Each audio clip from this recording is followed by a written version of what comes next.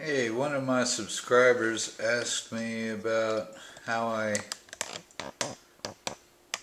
measure the resistance of my pickups. So, I mean, there's tons of videos on YouTube, but I thought I'd get my take on it I, because I found a few links on the internet that were pretty interesting. One of them you can actually listen listen to the effects different length cables have on your sound. You know, it's it's kind of a famous fact that Jimi Hendrix used those cheap little coily cables, which is, you know, this is a fancy Divine Noise uh, coily cable, not like his, which cut out a lot of highs and stuff. But you know, cables make a difference, and that one website I'll post uh, in the description talks or lets you listen to uh, different cables. I couldn't really hear a difference in the pickups. You can pick two pickups to compare the sound. Kind of basic, but it was an interesting website that I'd never seen before. And the other one is a uh, guide on how many wire turns are in pickups from Fender single coils from 1957 to no 1954 to 67 maybe either way, that link's in the description too. But uh, kind of proud of my new clips, my new Fluke alligator clips. See those babies? I've needed these for a long time. They're expensive though, so that's why I haven't bought them till now. For this crazy set, they want like I got them for $58, but that's still expensive. Okay, well, let's start from scratch. Here's my meter. Got it set on ohms. Uh, here's the volume. Everything needs to be all the way up. I'll show you how the volume affects the ohm reading. And there's a little misconception, and even myself included, equated uh, ohm resistance or out to output of the pickup, and that's not only one of the factors in pickup manufacture and uh, output is you know determined by type of magnet, strength of the magnet, and amount of coil uh, wire wraps, or yeah, there's a lot of factors, and it's fairly complicated. But generally speaking, the more resistance, the hotter the output of the pickup. But um, what you do, this is the positive, this is the negative, the black. And I just, I plug in a guitar cord. I used to think that the length of the guitar cord made a difference because there was resistance in the guitar cord, but maybe because this Divine Noise cord is such a good cord, I didn't notice any difference. But I used to use a short cord. We'll just go with a short cord for now. Yeah. That doesn't really come out. I'll go with the long cord, the coily. You just take the other end of it, put your uh, your lead. That's the tip. It will be the hot. The black will be the ground. That's the sleeve. You just hook them on there. Now you're getting a reading over here. You can see, hopefully, that it's 6.137. And that's the middle pickup. Now watch what happens when I turn the volume knob here. All of a sudden uh, the resistance really starts to go wacky.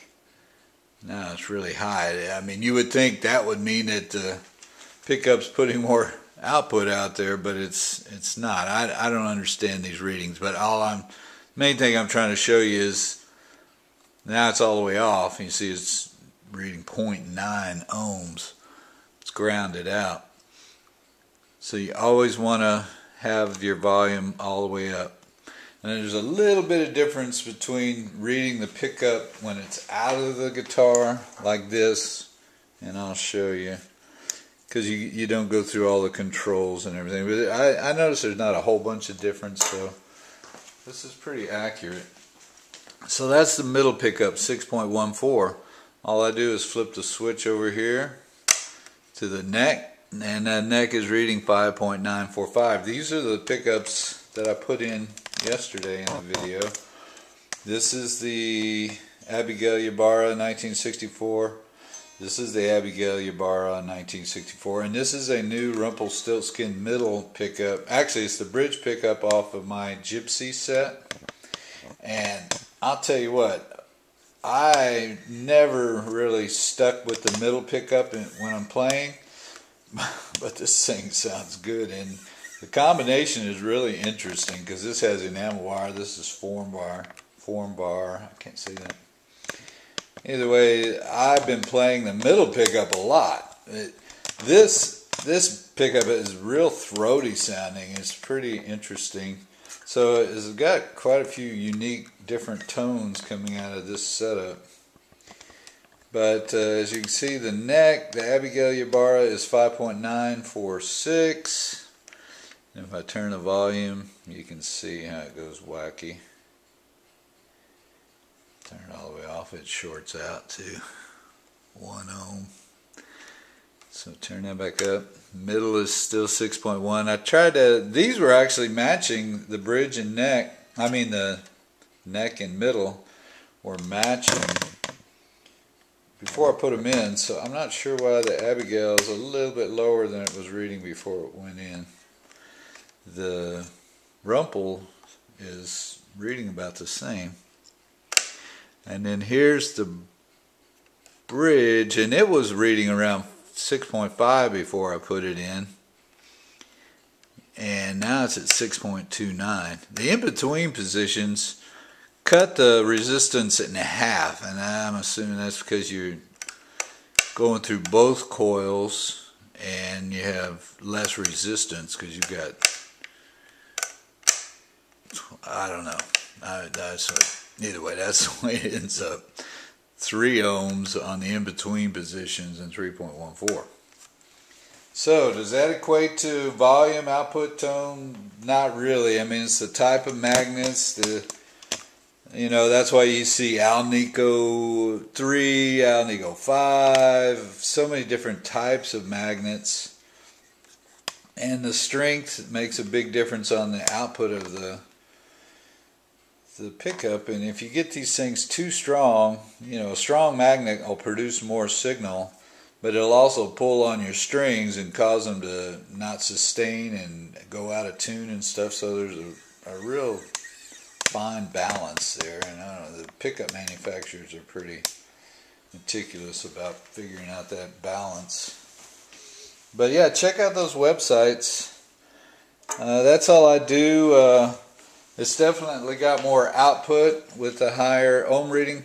Sadly to say, I'm not so sure there isn't something wrong with this vintage pickup, and that's that's a sad state of affairs because these things are worth a lot of money. But uh, this guy must have been whoever EZ is. He was the winder at Fender, and his, his stamp right there.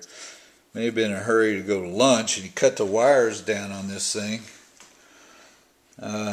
because it's if you look at that chart that I put the link on, there's not one pickup that Seymour Duncan had taken apart and rewound and checked all these things. It gets down to the 5.33 ohms. They're all 5.8, 5.7, 6.1, which seems to be the normal range, anywhere from 7,900 something winds of wire in 64 to up to the 8,000 something. So they generally have, you know, seven, seven to 8,000 winds of wire. And this one looks like it must have been cut short somehow. Or it does have a short in it. With My past experience has always been if there's a short in these things, it just stops working. But I don't know if it's really possible to have an internal short that cuts part of the coil out and have it still work.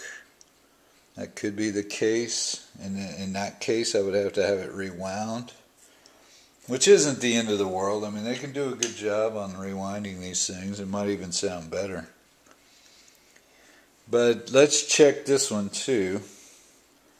This one's all you do is it doesn't really matter which way you connect these things it's you're still going to get the same reading but I'll do it the way probably technically should. The ground is black, so I'll go to the black ground wire. Go to the, pull this wire back a little bit. Go to this one, and you can see that it's reading, well, it's gone up a little bit. It's reading 5.407 which is pretty low and it was pretty mellow sounding but you know I played it for years like that and on a amp with fuzz going on and everything it, it sounds pretty good and you get quite a bit of feedback uh, so this is my feedback guitar when I really want to do the Hendrix stuff. But that was a long video. I'll talk to you guys later. Hope this helps